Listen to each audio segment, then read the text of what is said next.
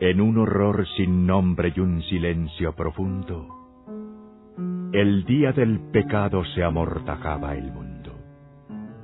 Y Adán, tras de cerrarse la puerta del Edén, viendo que Eva lloraba, dijo, No temas, ven.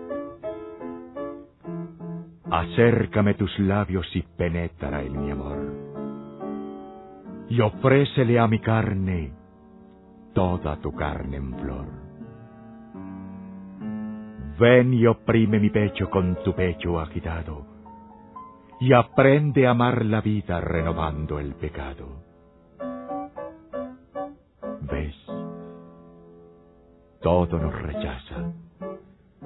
Toda la creación repudia nuestro crimen, vibra de indignación Dios retuerce los árboles con cólera funesta, como un vaho de fuego que cruza la floresta, y hace brotar volcanes y desborda los ríos.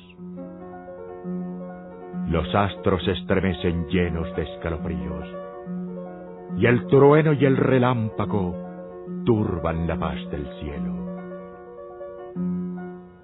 Vamos, ¿qué nos importa?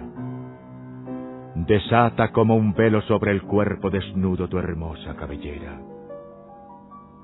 Que arda el bosque a tu paso, que la espina te hiera, que el sol queme tu espalda, que te injurien los nidos, que el animal salvaje te acuse con rugidos,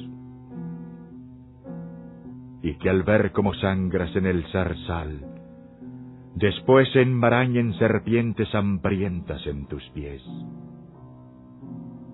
Y no importa, no importa, pues si el amor te llena, se ilumina el destierro, se perfuma la arena.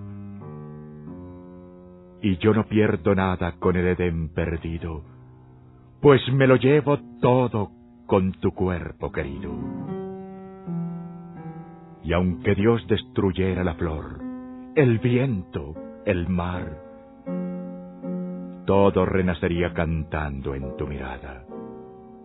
Todo.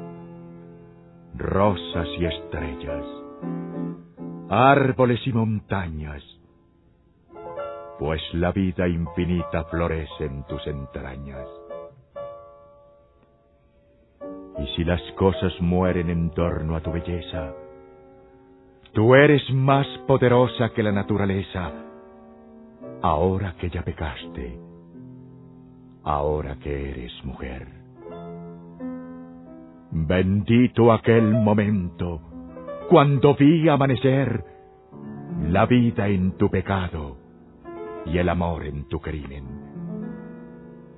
Ahora que Dios nos odia, los besos nos redimen, y al amarte en la tierra, y al besarnos los dos, la tierra es más que el cielo y el hombre es más que Dios.